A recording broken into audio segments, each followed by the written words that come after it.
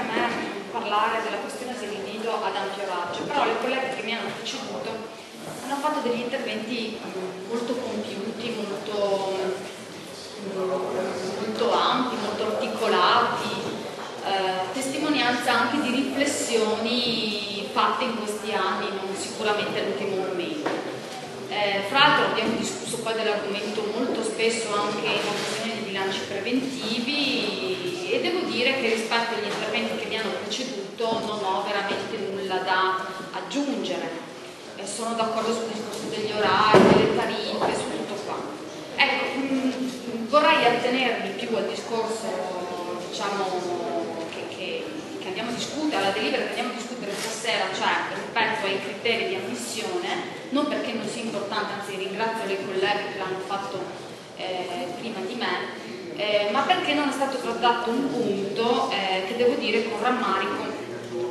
dovrò trattare per forza di cose e che non mi trova purtroppo d'accordo eh, rispetto invece a un lavoro di insieme di questa delibera eh, che mi è molto piaciuto,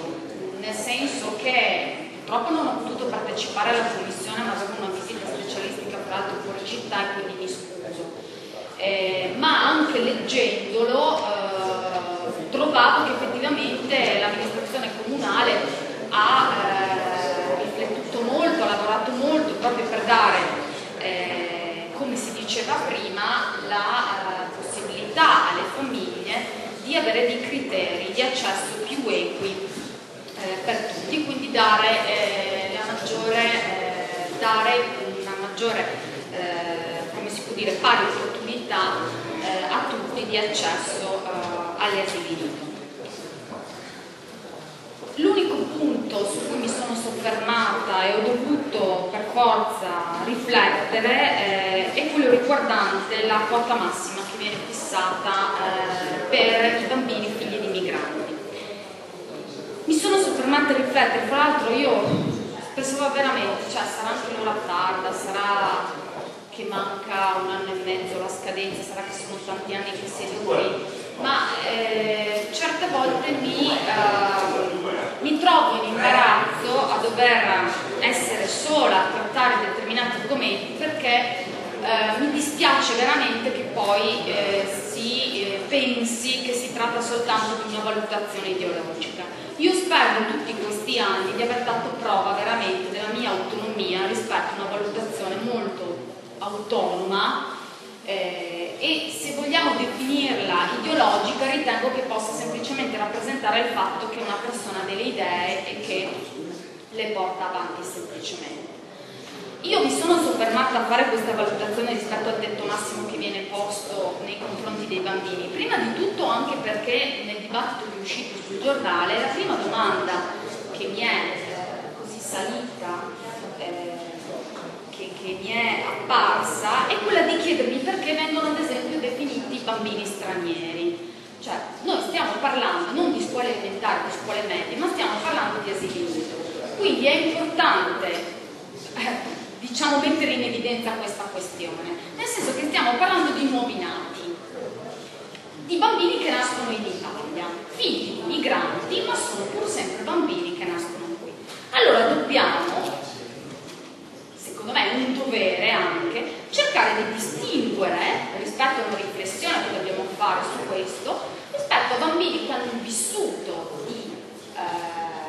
di migrazione, quindi che hanno dovuto passare eh, e viaggiare da un paese all'altro, quindi passare da una cultura e da un vissuto di un paese verso un altro, da bambini che comunque nascono qui. Allora io mi chiedo qual è la valutazione rispetto alla diversità dei bisogni tra i nati qui e gli arrivati qui con un regresso trascorso nel paese di origine. In più mi chiedo anche rispetto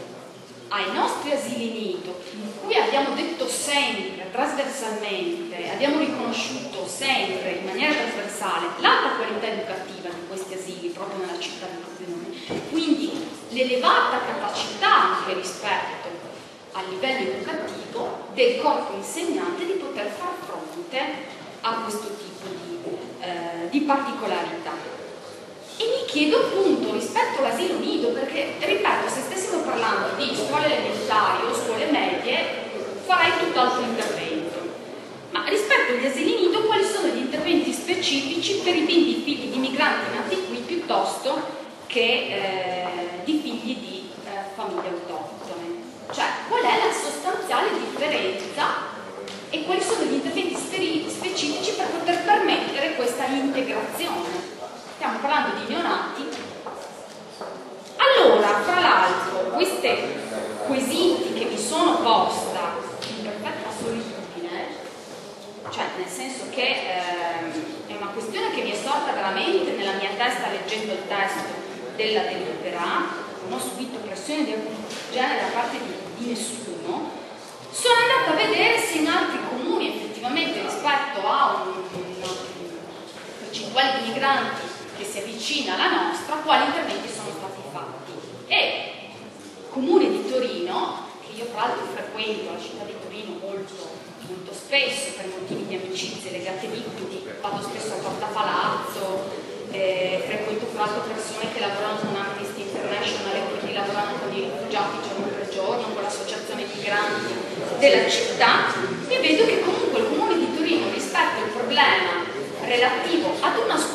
elementare, non ad un asilo nido, dove avevano, hanno una percentuale altissima di migranti, si sono trovati di fronte a problemi in cui alcune famiglie non volevano, famiglie di autoctoni, non volevano più portare, eh, iscrivere a scuola quella scuola eh, i propri figli, gli interventi non sono stati fatti, eh, non è stata presa neanche minimamente in considerazione la questione della sorveglianza.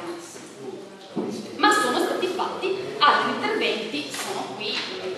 basta andare sul sito, adesso non li sto ad elencare, altri interventi che non sono comunque, eh, che non riguardano una posizione drastica come questa. Perché dico drastica? Perché rispetto all'esempio della percentuale che è stata fatta prima dall'assessore, diceva rispecchiare la situazione della città. I nuovi nati da famiglie di migranti sono il 25%, ogni classe non deve superare il 25%. Ma sappiamo che poi può succedere che non sia così. Può anche succedere che la soglia sia inferiore al 25% e quindi